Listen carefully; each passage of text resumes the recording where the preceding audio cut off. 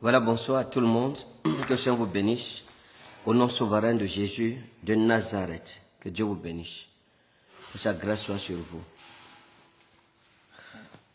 Partageons le direct, s'il vous plaît. Connectons-nous massivement et partageons le direct. L'heure est grave.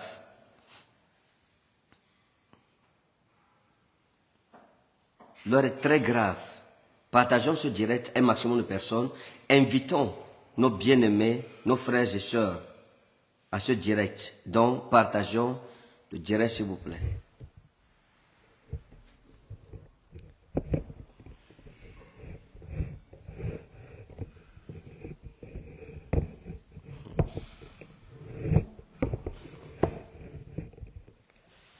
Partageons le direct.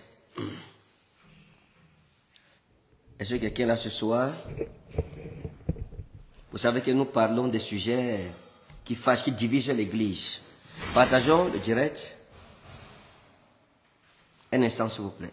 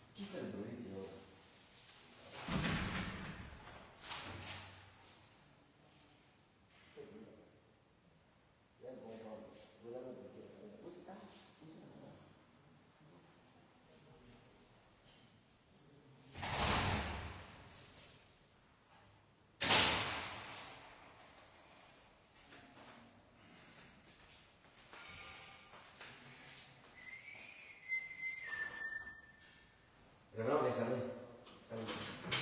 allez-moi ça, tout des... tout des- tout des-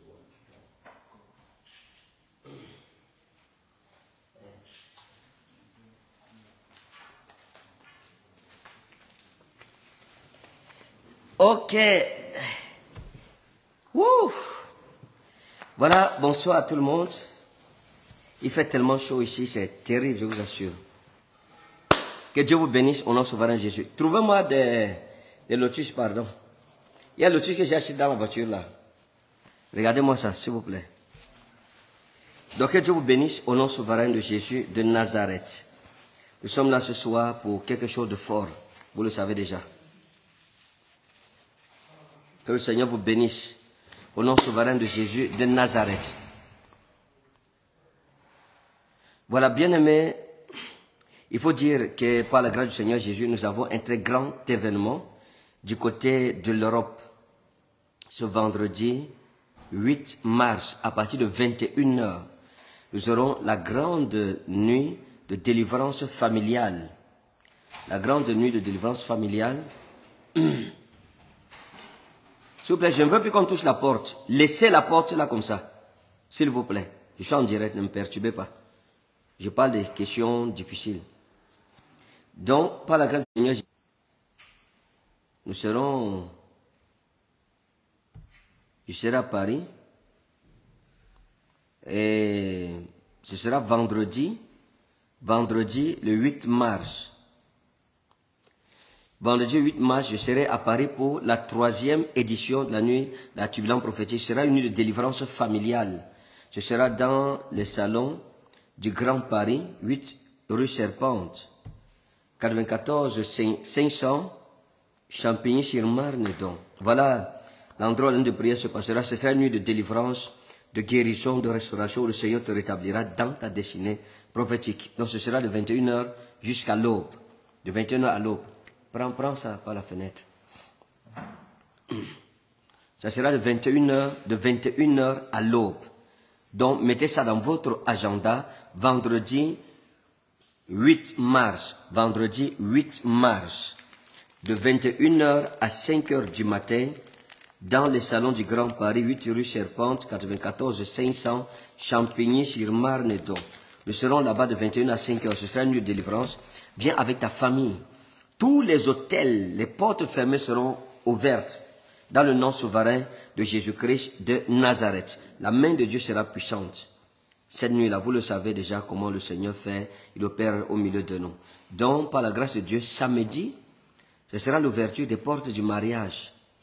Pour les célibataires, pour ceux qui sont mariés, pour ceux qui sont bien dans leur mariage, pour ceux qui ont des difficultés dans leur mariage, pour ceux qui sont divorcés, nous allons prier dans tous les cas pour que ta vie sentimentale soit bénie. Que cette année 2024, tu vois une grande différence dans ta vie sentimentale. La Bible donne une grande importance à la vie sentimentale des croyants. Et dit, il est bon que chaque homme ait sa femme et que chaque femme ait son mari. Donc c'est important. Donc sera, non, non, samedi c'est plutôt euh, l'impartition, l'ouverture des portes financières. Samedi à partir de 17h, de 16h, dans le même salon du Grand Paris, à partir de 16h, samedi, ce sera l'ouverture des portes financières. Tandis que dimanche, nous aurons le culte familial où nous allons consacrer toutes les familles à l'éternel avec les enfants. Et ce culte sera basé sur un séminaire sur le mariage en fait. On va enseigner sur l'ouverture des portes du mariage et la restauration de la vie sentimentale. C'est important. Tout le monde est concerné par le sentimental. Tout le monde. Tout le monde est concerné. Parce que ça fait partie de notre existence en elle-même. Donc, bien aimés, soyons très nombreux à ce grand culte de famille, il y aura un service d'eau et les familles seront ointes, toutes les familles seront ointes. Dieu nous bénira certainement. Il manifestera une grande grâce au milieu de nous. Et samedi, ce sera la conférence pour les partenaires. Ce n'est pas un culte ordinaire, ce n'est pas un culte pour tout le monde, pour l'église, c'est pour les partenaires financiers. Pour ceux qui disent, Seigneur, je veux être un partenaire financier.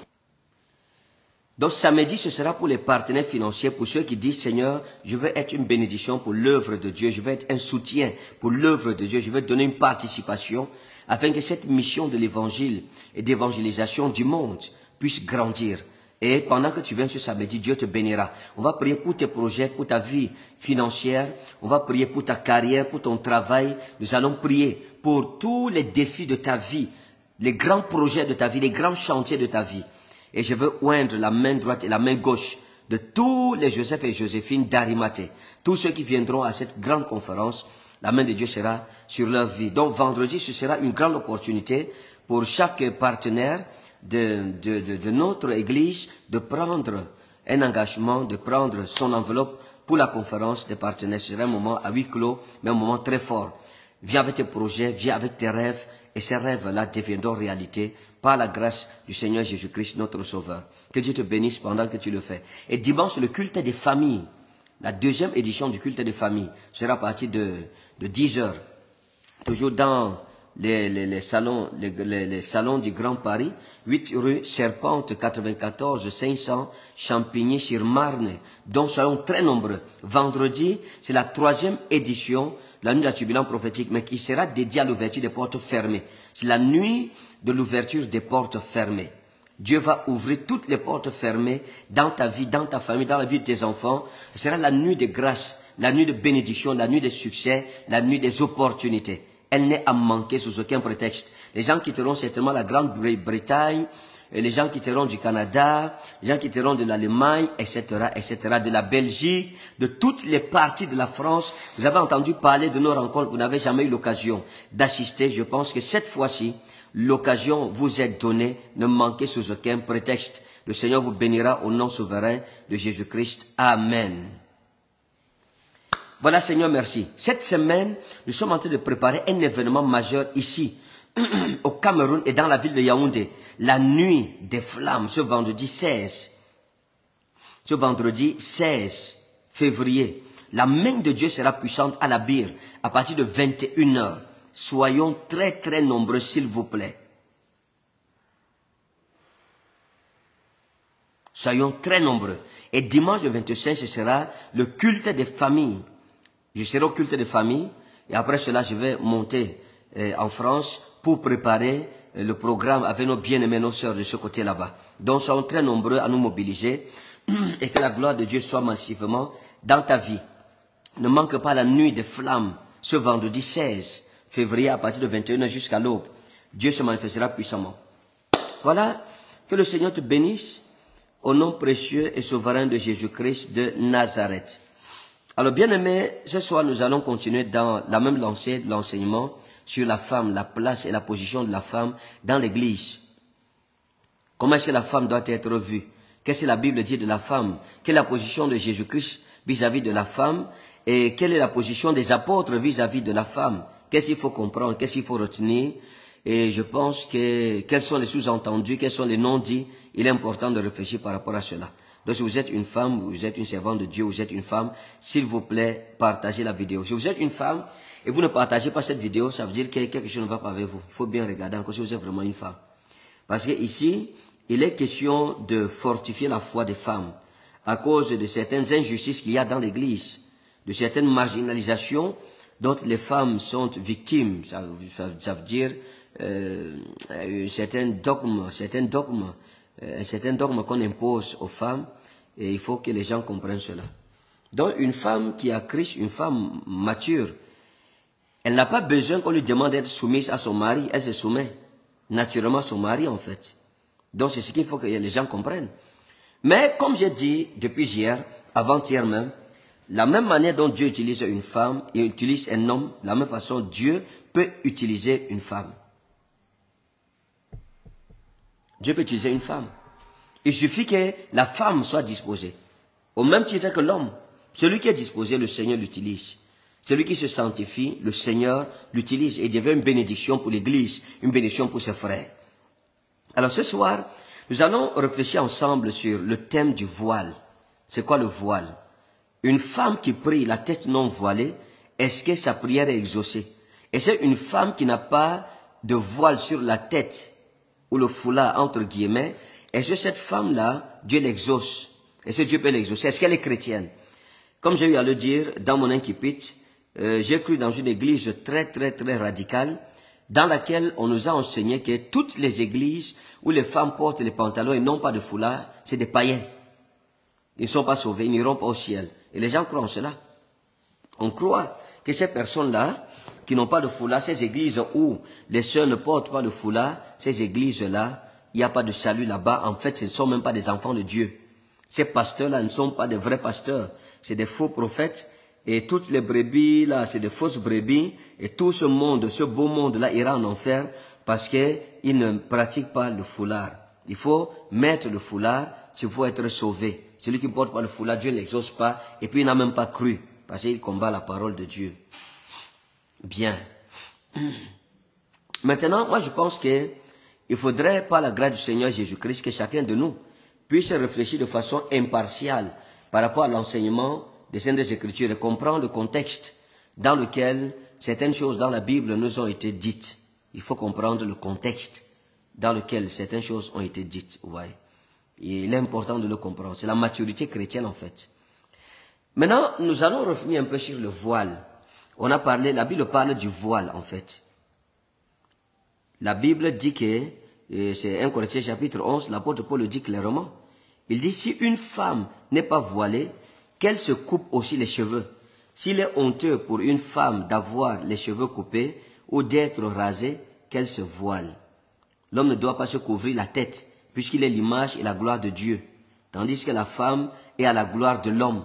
En effet, l'homme n'a pas été tiré de la femme, mais la femme a été tirée de l'homme. Et l'homme n'a pas été créé à cause de la femme, mais la femme a été créée à cause de l'homme. C'est pourquoi la femme, à cause des anges, doit avoir sur la c'est pourquoi la femme, à cause des anges, doit avoir sur sa tête une marque de l'autorité dont elle dépend. Et l'apôtre Paul dira, en plus de cela, pour la femme, la chevelure lui a été donnée en guise de voile. Bon, maintenant, vraiment, bien aimé, laissons les querelles. Écoutez-moi, je sais que mon enseignement ici, là, mon raisonnement, le partage que je fais, va blesser beaucoup d'hommes de Dieu, beaucoup d'églises. Je ne combats pas le foulard. Je n'ai rien contre ça. Pour moi, j'enseigne que le foulard n'est pas un objet de salut. Il n'a rien à voir dans le salut d'un chrétien. Le foulard n'a rien à voir avec le salut, en fait. Le foulard n'a rien à voir avec l'authenticité ou la non-authenticité, la foi d'un enfant de Dieu. Donc, ce qu'il faut que les gens comprennent déjà, c'est quoi? C'est qu'en fait, la Bible parle du voile. La Bible parle du voile. Si une femme n'est pas voilée, si une femme n'est pas voilée, qu'elle se coupe aussi les cheveux. Donc l'apôtre Paul enseigne que la femme doit être voilée, la femme chrétienne de l'église primitive qui est juive doit être voilée. Et donc, j'ai expliqué que le voile est différent. Le voile est différent du foulard que nous portons dans nos églises africaines aujourd'hui. Le voile dont parle la Bible est différent du foulard. C'est pas le foulard. Le foulard n'est pas le voile. Le voile était un voile intégral. Il couvrait la tête, pas une partie des cheveux.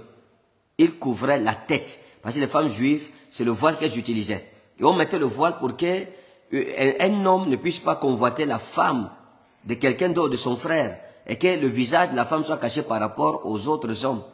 Maintenant, je vais lire, je vais lire avec vous un peu euh, quelques euh, recherches que j'ai eu à partager, à faire par rapport au voile. Je vais lire quelques textes et nous allons revenir bibliquement et on va comprendre ensemble. Chacun pourra comprendre ce qu'il voudra comprendre. Pour moi, je pense que que tu te voiles ou que tu ne te voiles pas, ça n'a rien à voir avec le salut. La nouvelle naissance n'a rien à voir avec le foulard ou le voile ou le non-port du voile. Et il y a au moins trois problèmes que ce passage nous pose. Et je vais vous poser ces problèmes. Vous allez réfléchir ensemble et raisonnons ensemble. L'apôtre Paul dit clairement que si une femme n'est pas voilée, qu'elle se coupe aussi les cheveux. Et s'il est honteux pour une femme d'avoir les cheveux coupés ou d'être rasée, qu'elle se voile. L'homme ne doit pas se couvrir la tête puisqu'il est l'image et la gloire de Dieu. Tandis que la femme est la gloire de l'homme. Bon, maintenant, ici, l'apôtre Paul enseigne clairement que l'homme ne doit pas se couvrir la tête parce qu'il est la gloire de Dieu. Il ne doit pas se couvrir la tête quand il prie. Parce qu'il parle de l'office de la prière. Il parle de la prière. Il dit qu'une femme qui prie ou qui prophétise, la tête non voilée. Donc ici même, l'apôtre Paul n'exige pas à la femme d'avoir le voile 24 heures sur 24. Il parle des moments de ministère, des moments de prière ou le moment où le Saint-Esprit utilise la femme pour prophétiser. Il dit en ce moment, la femme doit se voiler la tête.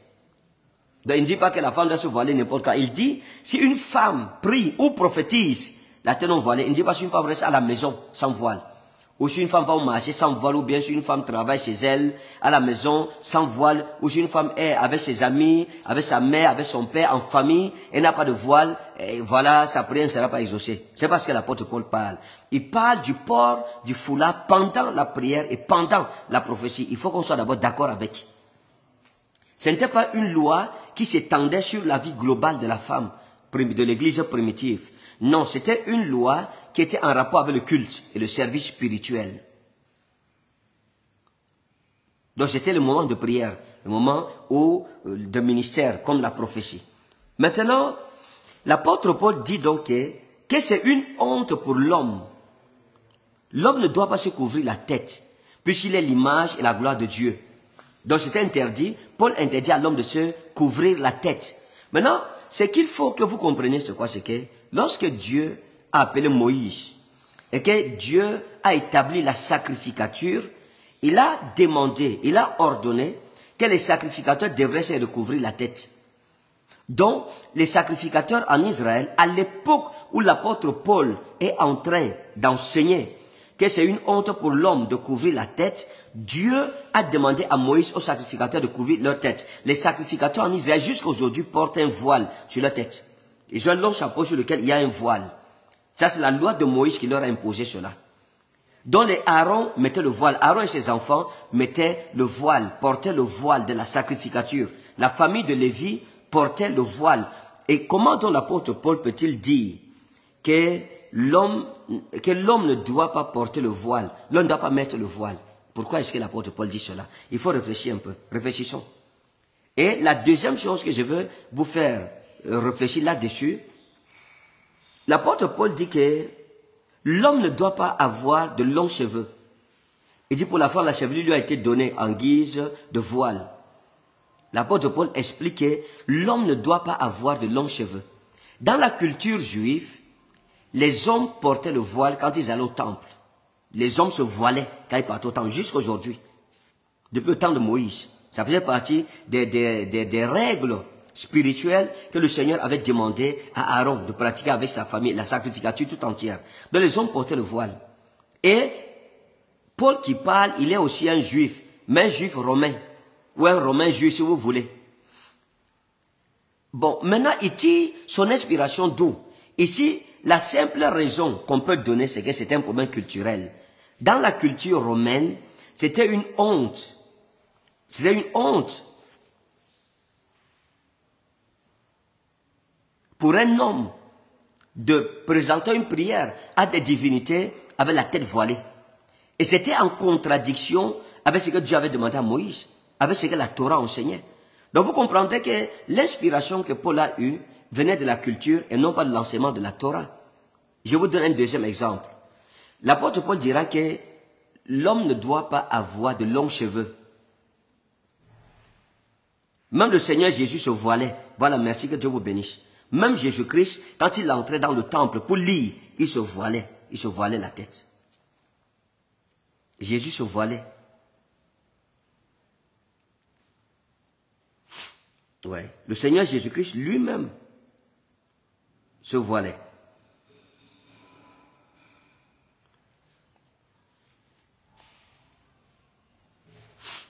Donc maintenant, ce qu'il faut que les gens puissent comprendre, c'est que d'où est-ce que l'apôtre Paul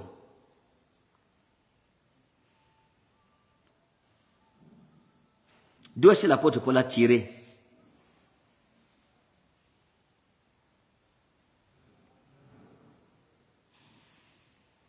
D'où est-ce que l'apôtre Paul a tiré cela si ce n'était pas un problème culturel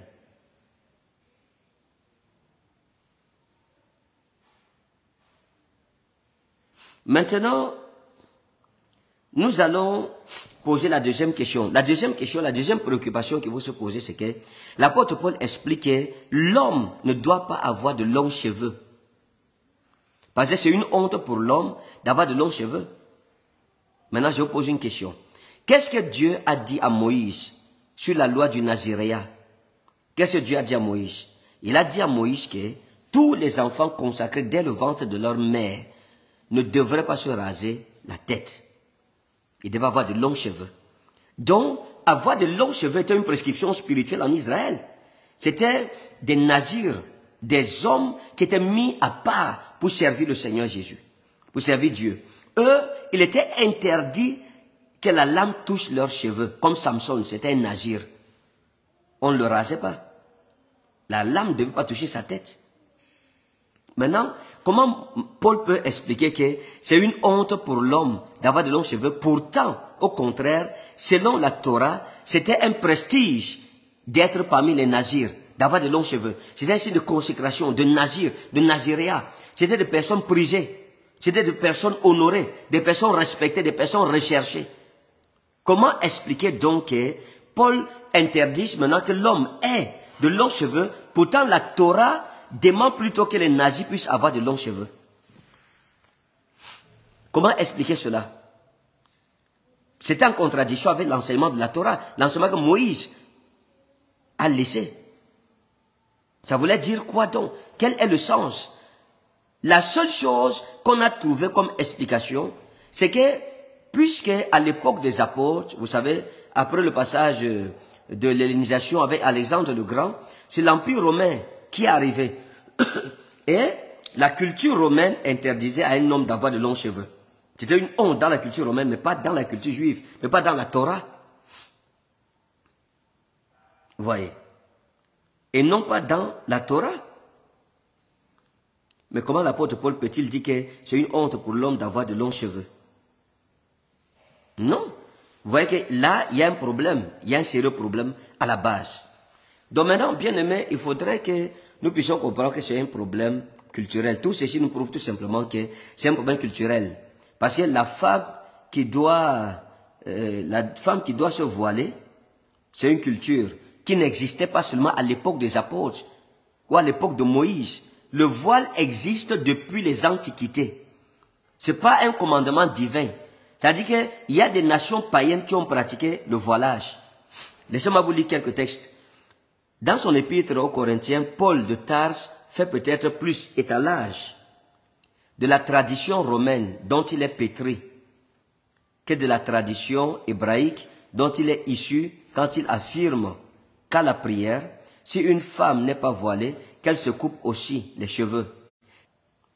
L'homme ne doit pas se couvrir la tête puisqu'il est l'image et la gloire de Dieu, tandis que la femme est la gloire de l'homme. En effet, l'homme n'a pas été tiré de la femme, mais la femme a été tirée de l'homme, et l'homme n'a pas été créé à cause de la femme, mais la femme a été créée à cause de l'homme. C'est pourquoi la femme, à cause des anges, doit avoir sur la tête une marque de l'autorité dont elle dépend. Néanmoins, il dit un peu plus loin, pour la femme, la chevelure lui a été donnée en guise de voile. De ça, c'est clair. Le voile a été donné par Dieu à la femme. Notons que le Romain Paul de Tarse prend une position opposée à la tradition hébraïque qui préconise au moins pour les hommes de porter ce qu'on appelle le talit. Le talit, ou un châle couvrant parfois la tête lors de la prière. Dans le talit, dans la Torah, que vous alliez par exemple, si vous étudiez le Talmud, vous étudiez le Talmud, ou bien la Mishnah ou la Agara, vous allez vous rendre compte que dans la Mishnah et la, et la et dans le Talmud, il y a ce talit-là qui est imposé. Le talit est imposé depuis le temps de Moïse. C'était le voile que les hommes portaient. Donc, s'il faut que nous mettions en pratique l'écriture, il faut aussi que les hommes puissent porter ce voile-là. Donc, le voile n'était pas seulement pour les femmes, même les hommes se voilaient. Donc, c'était un châle couvrant parfois la tête lors de la prière. Paul, juif, mais marqué par la culture gréco-romaine, estime que pour prophétiser et prier dans les assemblées, la femme doit se voiler la tête en signe de soumission à l'homme et à l'autorité dont elle dépend. Il faut noter que Tertullien, qui est un père de l'Église, dans De Virginibus Velandis, c'est un essai qu'il a écrit, affine l'obligation polienne concernant les femmes voilées et l'étend aux jeunes filles nubiles, afin qu'elles aussi gardent humblement le voile au cours de liturgie. Il s'oppose déjà aux tenantes de la liberté. Cette obligation va s'imposer en Occident, dans la tradition iconographique chrétienne. Voyez. Marie, mère de Jésus, est par convention représentée portant un voile de couleur bleue. Madeleine, la pécheresse, est pour sa part présentée tête nue. La prise de voile des nonnes est dans ce contexte le symbole de noces mystiques avec Dieu et signe, et signe leur entrée dans le clergé régulier.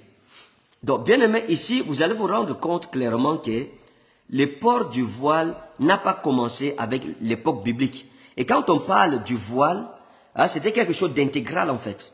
Le voile, c'était quelque chose d'intégral. Voyez. Et il faut savoir qu'il y a plusieurs cultures qui ont gardé le voile. Attendez, je vais vous montrer quelque chose. Voyez? Oh là là. Excusez. Je vais vous montrer quelque chose ici. Voyez, regardez ici. Voici ce qu'on appelle le voile. Voyez? Ici, vous allez voir, c'est un voile. Voyez ici là. Ça, c'est le, voile d'une femme russe. Voile de mariée russe. Voici ce qu'on appelle le voile en fait. Ici, la tenue de mariée avec un long voile en mousseline transparente en 1906. Voilà. Voici un mariage juif. Ici, vous voyez, c'est un mariage juif traditionnel sous le dé nuptial à Tel Aviv en 1964. Voilà ce qu'on appelle le voile. Voyez? Voici encore ici, vous pouvez voir, ici. C'est ça qu'on appelle le voile. Vous voyez? Regarde comment il est voilé. C'est de ça que l'apôtre Paul parle en fait. Voyez? Donc quand on parle de voile, c'est un peu ça. Vous voyez, ici, là, je pense c'est l'Éthiopie. Vous voyez comment ces femmes-ci, elles sont voilées. C'est comme ça, les églises qui veulent pratiquer le voilage. Voilà au moins ce qu'il faut faire. C'est pas le foulard. Voilà ce qu'il faut faire. Donc voilà ce qu'il en est du voile. Là, c'était vous montrer euh, un exemple de ce qu'on appelle le voile. Lorsque l'apôtre Paul parle de voile. Donc, excusez-moi. Voilà. Oh là là. Voilà.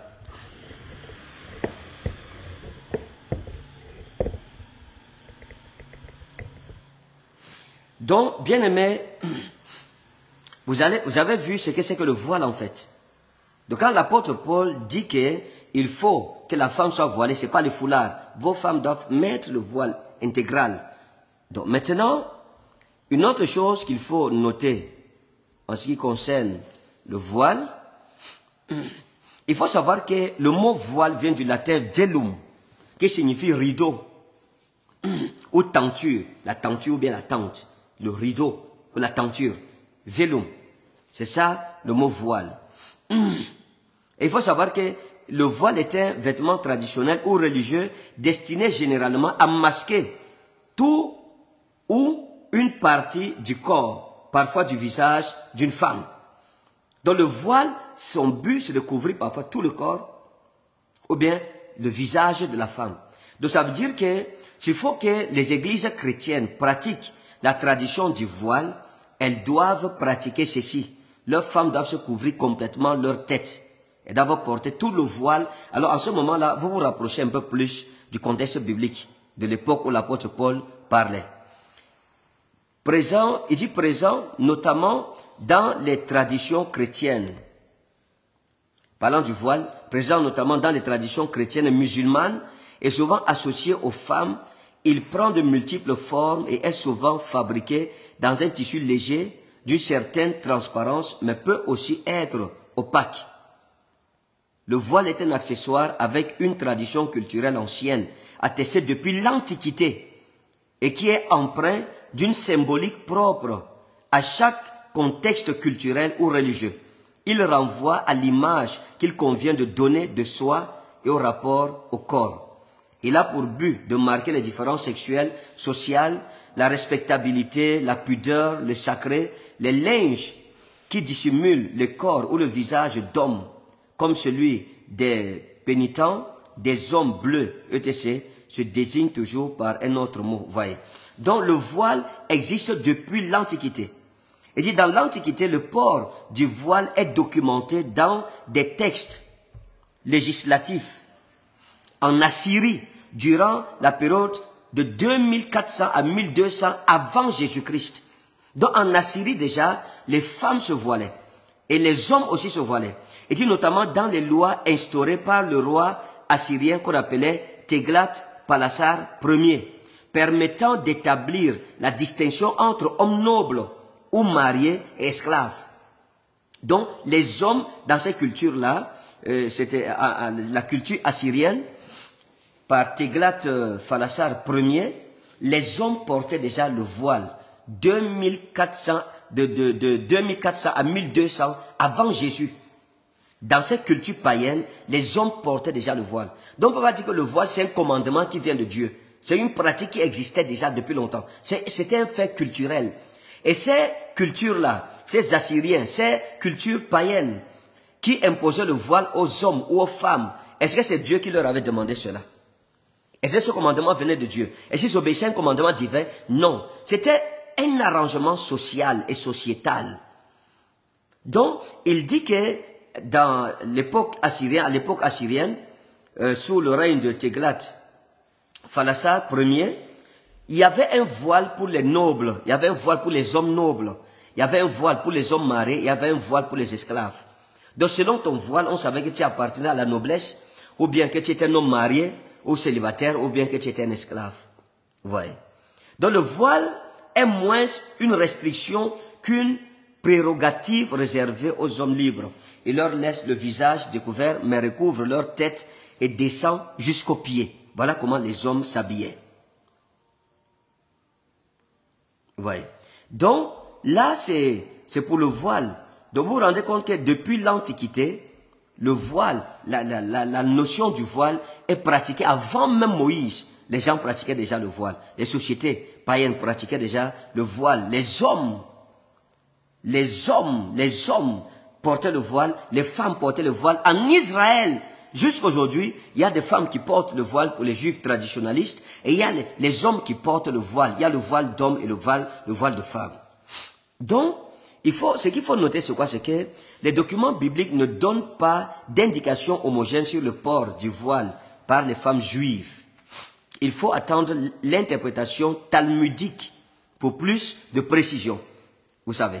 Donc, il dit que dans la Torah et l'Ancien Testament, les femmes israélites apparaissent souvent tête nue. C'est le Talmud, c'est le Talmud qui va apporter ces, amendements. C'est le Talmud et dans la Mishnah, dans la Hagara, qu'on va trouver ces arrangements-là. Mais dans, dans, dans la Torah, dans la Torah, vous voyez, c'est un peu compliqué. C'est le Talmud qui va apporter, parce que le Talmud, et chez les Juifs, c'est un peu comme les hadiths. C'est comme, chez les, comme le, hadith chez les musulmans par rapport au Coran. Ouais. Donc, il dit au moment où elle, il dit, il, va dire dans la Torah et l'Ancien Testament, les femmes israélites apparaissent souvent tête nue. Dans la Genèse 24, verset 65, Rebecca prit son voile et s'en couvrit. Rebecca prit son voile et s'en couvrit. Au moment où elle rencontre Isaac, son futur époux. Donc elle n'avait pas le voile pendant tout le voyage. C'est qu'elle voit son mari qu'elle met le voile en signe de respect. Il dit le voile désignant euh, Léa se couvre de son voile à l'approche d'un étranger. Elle voit un étranger venir, elle couvre sa tête, elle, met, elle couvre ses cheveux. Le voile désignant dans la Bible celui qui couvre le visage selon certains spécialistes. Donc le voile biblique, c'est couvrir le visage. Ainsi, il semble clair que les femmes des temps bibliques portaient le voile au point que le futur marié ne savait pas qui il épousait, comme en témoigne l'épisode de Jacob qui, croyant épouser Rachel, se retrouve marié à Léa. Donc c'est la question que chacun doit se poser. Comment est-ce que tu vis avec une femme pendant sept ans? Et la nuit, tu pas coucher avec sa sœur ne reconnaissant pas que c'est ta femme Il y a deux choses qui se sont passées. La première chose qui est sûre, c'est que la femme était voilée, elle avait le voile. Donc le voile, vous comprendrez que si Jacob n'a pas pu discerner que c'est avec Léa qu'il est parti, ce n'était pas sa faute. Il y avait deux choses qui ont causé cela. La première chose, c'était le voile. C'était le voile dont l'apôtre Paul parle. Donc c'était un voile qui faisait qu'on ne voyait pas le visage. Certainement, Rachel et Léa devraient avoir la même corpulence. Ça, c'est clair. Ça, c'est évident. Ils devraient avoir la même corpulence, la même physionomie, physiologie, je veux dire. Et maintenant, la deuxième chose, c'était quoi? La deuxième chose, c'est le silence. Certainement, elle n'a pas parlé. Il fallait se taire. Tout s'est passé dans le silence. Elle n'a pas parlé. Peut-être son mari a parlé, mais elle n'a pas répondu. Parce qu'il entendait la voix, il discernerait. Donc, ceci prouve que le voile dont les femmes juives faisaient usage était le voile intégral qui couvrait complètement la tête en sorte qu'un prophète n'a pas su reconnaître sa femme. Le cantique des cantiques glorifie la beauté d'une femme derrière son voile. Ce chant est une déclaration d'amour que l'on peut prendre de façon très littérale entre un fiancé et sa promise, ou comme la déclaration symbolique de l'amour du Seigneur, du Dieu d'Israël envers son peuple. Et ce voile l'équivalent du paroquet, l'équivalent du paroquet, c'est-à-dire le rideau couvrant l'arche sainte dans les synagogues, euh, dans les synagogues. Donc, euh, vous allez donc vous rendre compte que ces choses-là sont des choses qui sont purement culturelles. Elles sont culturelles. L'enseignement sur le voile est quelque chose de purement culturel. Il faut comprendre que Aujourd'hui en Europe, lorsque vous demandez à une femme de se voiler, c'est un tabou. Mais ce n'était pas comme ça avant. En Europe, lors du mariage religieux, la mariée peut revêtir un voile de tulle sur la tête. Pas nécessairement blanc par exemple, mais aussi transparent, notamment dans le mariage catholique. À ce titre, et d'après l'interprétation que Rosine Lambin, docteur en sciences des religions à la Sorbonne, fait des textes de Paul de Tarse, le voile de la mariée chrétienne est comme celui des religieuses, un voile de sacrifice impliquant aussi la soumission de la femme à son époux. Dans d'autres religions, le voile de la mariée est également porté sans qu'il soit nécessairement blanc. Ainsi en Chine, où le blanc est la couleur du deuil, le voile peut être de la même couleur que la robe. rouge notamment, couleur de pouvoir dans la tradition chinoise. Donc vous voyez que même chez les Chinois, même en Europe, les femmes portaient le voile. Chez les Chinois, les femmes portent le voile. Chez les Indiens, les hindous, les hindous, les femmes portent le voile aujourd'hui encore. C'est pas une histoire de, soumission au mari, c'est pas une histoire de soumission au mari, mais c'est une histoire de style en fait. Ouais. Donc c'est pas seulement, c'est pas une recommandation divine, comme une révélation de Dieu à, à Paul pour l'Église, pour la femme chrétienne. Ce n'était pas pour la femme et, la femme chrétienne, c'est pas une invention pour la femme chrétienne, c'était quelque chose qui existait déjà.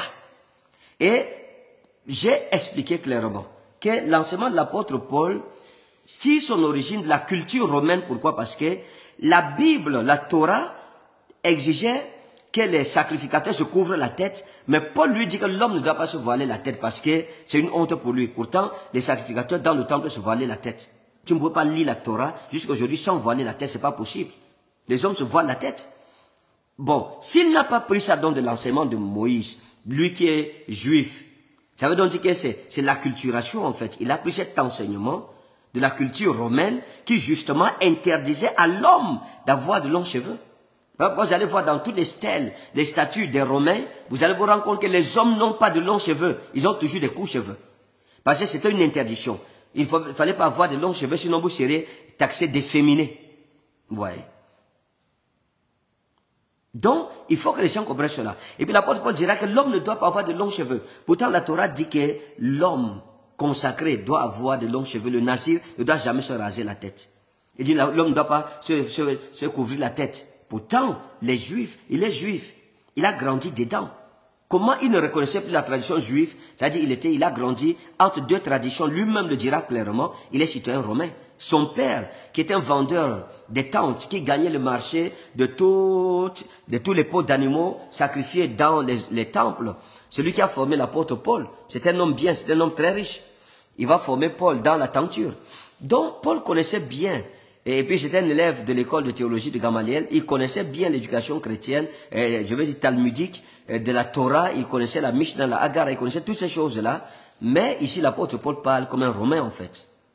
Quand il parle, moi je vois un Romain parler en lui. Les Romains eux-mêmes, leurs femmes se voilaient. Leurs femmes se voilaient. Et eux donc, c'est quel commandement? C'est Dieu qui leur a demandé cela? Non, mes amis. Donc moi je pense qu'il faut que nous puissions comprendre qu'il y a des choses qui ne doivent plus séparer l'Église, diviser l'Église. Maintenant, il faut savoir que le voile dans les communautés juives et chrétienne a une origine païenne, sans a priori. Aucune justification religieuse s'appuyant sur une convention méditerranéenne de préséance d'un sexe sur l'autre. Donc, c'est tout à fait clair. Il y a beaucoup de choses, peut-être je prendrai le temps pour revenir dessus. Il y a beaucoup de choses que nous avons aujourd'hui dans le christianisme qui viennent des religions païennes, qui viennent des coutumes païennes. Laissez-moi vous dire une chose. Les gens aujourd'hui célèbrent le, le, le, 25 décembre comme étant la naissance de Jésus-Christ. C'est une fête, c'est-à-dire la fête de Noël. Noël là, en latin là, dans le latin antique, on disait Naël. Pas Noël, c'était Naël parce que en français, il y a ce qu'on appelle la philologie. La philologie, c'est l'histoire des mots, l'historique des mots si vous voulez. En linguistique, on enseigne que les mots naissent les mots grandissent, atteignent leur apogée, les mots meurent après, ou alors les mots se métamorphosent. Voyez. Donc avant c'était Naël. Aujourd'hui on dit Noël. Mais ça signifie en latin tout simplement la renaissance. C'était la célébration du dieu soleil Mitra. Au solstice d'hiver, tous les 25 décembre. Donc, mais aujourd'hui le christianisme, les gens qui disent que non, vraiment il faut savoir que non, oh, le 25 décembre, en fait, Jésus et tout cela, les païens célébraient le 25 décembre. Ça se fêtait le 25 décembre. Et le symbole, le symbole du 25 décembre, le dieu Mitra, il était porté par sa mère, qui était aussi une déesse. C'est l'image, c'était l'image d'une maman avec son fils Mitra. Et c'est la même image que l'église catholique romaine a prise pour dire que la femme là, la mère de Mitra, c'est Marie, c'est la mère de Jésus. Et Mitra, c'est Jésus. Jésus ne pouvait pas naître en décembre, parce qu'en décembre, c'est l'hiver. Puisque la Bible dit clairement que les bergers faisaient paître le troupeau dehors. En hiver, c'était la glace. Il n'y avait pas d'herbe dehors. Les animaux étaient dans les bergeries, dans les étables. Voyez. Donc, il faut comprendre qu'il y a beaucoup de choses que nous adoptons dans l'Église aujourd'hui euh, qui sont païennes. Beaucoup de pratiques dans l'Église sont païennes. On peut continuer à citer des exemples. Dans l'Église aujourd'hui, c'est des fêtes païennes. Tout simplement qu'on a métamorphosé, c'est ce qu'on appelle en théologie le, le, quoi là, euh, quoi là fonctionnel. Peut-être ça va revenir, je vous Donc voilà, bien aimé, moi je pense que il dit le voile dans les communautés juives et chrétiennes a une origine païenne, sans a priori aucune justification religieuse, s'appuyant sur une convention méditerranéenne de préséance d'un sexe sur l'autre. La religion ne s'y mêle qu'indirectement en tant que garante de l'ordre social. Il existe probablement un lien entre la tradition romaine et le port du voile chez les chrétiennes qui désirent attester de leur conformité sociale auprès des païens. Pourquoi? Parce qu'à cette époque de Paul-là, l'Église était persécutée par le gouvernement romain. Donc pour éviter donc que l'Église soit mal vue par les Romains, l'apôtre Paul va donc demander, lui-même va enseigner, d'être soumis aux autorités établies parmi les hommes. Et donc il va adopter la culture romaine pour que l'Église ne semble pas aller contre l'autorité romaine et pour que ça crée des problèmes à l'Église. Et donc, il va mettre de côté ce que la Torah enseigne par rapport au voile chez l'homme et chez la femme pour mettre en exergue ce que la, la culture romaine enseignait, tout simplement. Vous voyez. Une autre influence peut aussi exister entre les tenues démoniales orthodoxes et les tenues musulmanes, de par la proximité des communautés de Jérusalem à l'époque des croisades. L'apôtre Paul de Tars appelle les chrétiens de Corinthe à plaire, à se conformer aux juifs et aux païens, ainsi qu'aux autres chrétiens, donc c'est-à-dire aux autorités romaines. Il dit donc que les femmes n'ont pas à se couvrir la tête si elles ont les cheveux longs, sauf à la prière publique, ou si elles ont honte de leurs cheveux coupés ou tondus. Elles doivent se les tondre si elles ne mettent pas de voile à la prière publique toute femme qui prie ou qui prophétise sans avoir la tête voilée déshonore son chef, car c'est la même chose que si elle était rasée. Vous voyez? Donc, il faut comprendre que l'apôtre Paul n'impose pas à la femme le port du foulard 24 sur 24. Non. C'est pour les services publics, tout simplement. Là, je pense que nous sommes d'accord avec cela. Et maintenant, il faut comprendre que les historiens antiquisants, c'est-à-dire qu'on parle des historiens antiquisants, c'est-à-dire ceux qui ont étudié l'Antiquité, ont longtemps nié le port du voile dans la civilisation grecque, là c'est les Romains, les Grecs, berceau de la démocratie, évoquant le port de châles et de tissus jusqu'aux travaux du professeur d'archéologie Karine Galt dans la société grecque antique, l'épouse est tenue de se couvrir la tête. La sculpture antique nous a laissé une trace de cette symbolique. Les déesses représentant le mariage, le foyer ou la famille sont le plus souvent voilées alors que les déesses célibataires comme Artémis ou Aphrodite ne le sont pour ainsi dire jamais. Donc même dans la culture grecque, dans les sculptures grecques, vous allez vous rendre compte que les déesses du mariage, de la vie sentimentale, de l'amour, ont le voile. Comme Déméter, par exemple, la déesse grecque, Déméter, elle a un voile sur sa tête. C'est-à-dire que même à l'époque des Grecs déjà, avant même que les Romains passaient, euh, euh, l'époque grecque est venue avant l'époque romaine. Les épouses se voilaient. Non. Il dit dans la Rome antique, la symbolique, la symbole du voile est étroitement associée au mariage. Le verbe nubere signifie voiler et se marier.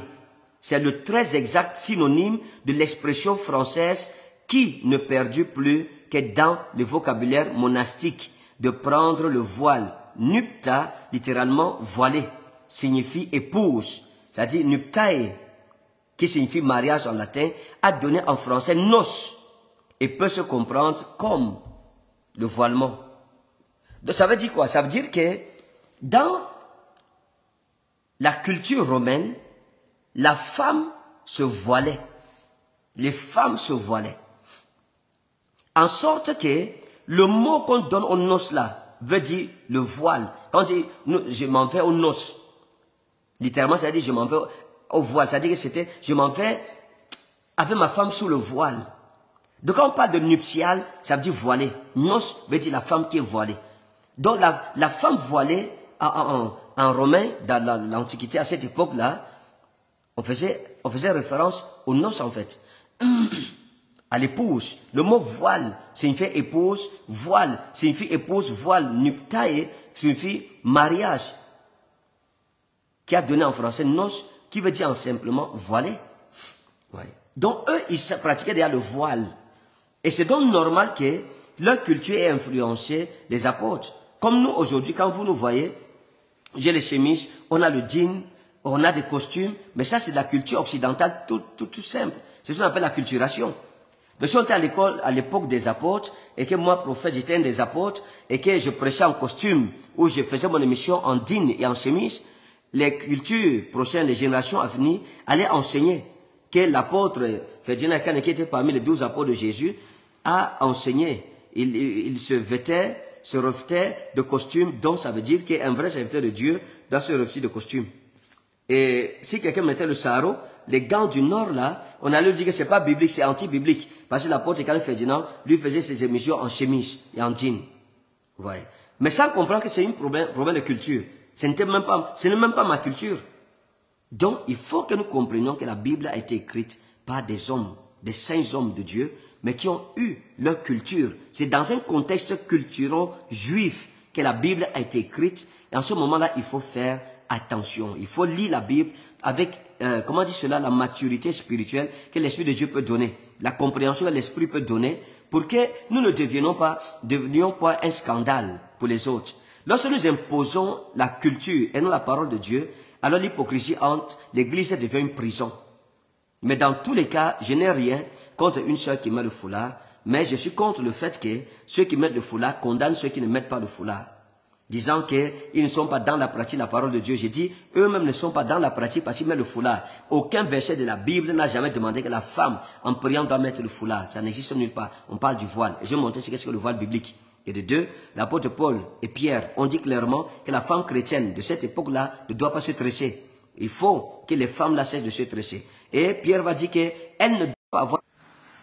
Pierre dit qu'elle ne doit pas avoir des toilettes somptueuses. Donc toutes ces choses-là, il faut les respecter d'abord avant de juger les autres. Que Dieu te bénisse au nom souverain de Jésus de Nazareth. Que Dieu te bénisse.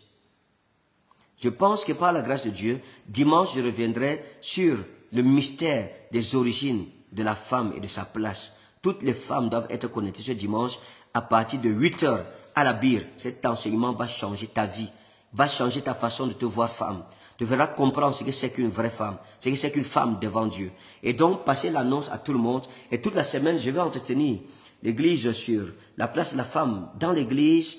Euh, voilà, et le Saint-Esprit nous aidera, nous mènera jusqu'à bon port. Et pour tous ceux qui sont en Europe, je serai en France. Par la grâce du Seigneur Jésus-Christ, le 8, nous aurons la grande nuit de la délivrance des familles, la nuit des portes ouvertes, la grande nuit de l'ouverture des portes fermées. Donc nous aurons la grande nuit de l'ouverture des portes fermées de 21h jusqu'à 5h du matin dans les salons du Grand Paris, 8 rue Serpente, 94 500 Champigny sur Marne. Donc ce sera de 21h à 5h du matin. Vendredi 8 mars, mets-le dans ton agenda. Et samedi, le 9 mars, à partir de 16h, parce que je ne viens pas en Europe pour jouer. Je viens pour apporter la délivrance. Donc on aura trois jours dans sa présence, dans ses parvis. De par la grâce du Seigneur Jésus-Christ, samedi 9 mars, c'est la conférence de l'ouverture des portes financières. La conférence de l'ouverture des portes financières. Tous ceux qui ont des enfants, euh, qui ont des grands défis, des enfants, qui doivent faire dans le football, les enfants qui ont des projets, vous avez des projets vous-même, vous avez votre carrière, les choses sont bloquées dans votre vie, vous sentez que ce que vous faites ne réussit pas, samedi c'est votre journée. On va ouvrir les portes fermées dans le nom souverain de Jésus. C'est une conférence pour les partenaires les partenaires financiers, nos Joseph et Joséphine d'Arimathée. Pour ceux qui disent que, ah, Seigneur, dans le peu que tu m'as donné, je vais enlever ceci pour bénir l'église avec cela, pour bénir ton œuvre avec cela. Donc tout cela, à la nuit de la délivrance des familles et de l'ouverture des portes fermées et de la destruction des hôtels sataniques, nous allons donner des enveloppes à tous nos bien-aimés, chacun selon la grâce que Dieu lui aura faite. Et je sais que Dieu nous bénira. Et je bénis Dieu pour votre amour et votre abnégation pour voir l'œuvre de Dieu aller de l'avant. Et dimanche, le, 10, dimanche, le 10, à partir de 10 heures, toujours dans la même salle des de, salons du Grand Paris, nous aurons le culte familial qui sera basé sur le mariage. Voilà, le culte familial avec service d'eau L'eau sera gratuitement donnée à tous ceux qui seront présents. Donc ce service sera puissant. Pour le mariage, il concernera les célibataires, il concernera les mariés, ceux qui sont bien mariés, ceux qui sont mal mariés, les divorcés, Dieu veut restaurer ta vie sentimentale. Il veut ramener l'ordre dans ta vie sentimentale. Ceux qui cherchent un mari, qui cherchent une femme, je les convie par les compassions de Jésus-Christ à ne pas manquer à ce dimanche. Dimanche, le 10, le 10 mars, à partir de 10 heures, dans le salon du Grand Paris. 8 rue Serpente, 94, 500 Champigny, sur Marne d'On. Soyons très très nombreux. Si depuis que je viens en Europe, vous dites, oh non, j'irai au programme du prophète, mais vous n'avez jamais eu l'occasion de le faire, cette fois-ci, ne ratez pas. Et quand vous venez, que le Seigneur vous bénisse. Au nom souverain de Jésus, j'ai prié. Amen. Père, merci pour ta grâce. Nous recommandons ces nuits entre tes mains. Seigneur, bénis-nous. Garde-nous du mal. Je prie pour l'unité dans le corps de Christ. Que la sœur qui a le foulard ne condamne pas celle qui n'a pas. Que celle qui n'a pas ne condamne pas celle qui a. Que nous vivions, Seigneur, en comprenant que c'est le salut en Jésus-Christ qui sauve et non pas le foulard. Que ton nom soit béni. Que l'unité dans ton église soit rendue possible. Que cette nuit soit une nuit de grâce et de bénédiction et de révélation. Révèle-toi à nous, parle-nous cette nuit et manifeste ta gloire. Seigneur, toute conspiration contre nos vies et anathème au nom souverain de Jésus, on a prié. Amen. Que Dieu te bénisse. Shalom. Bye.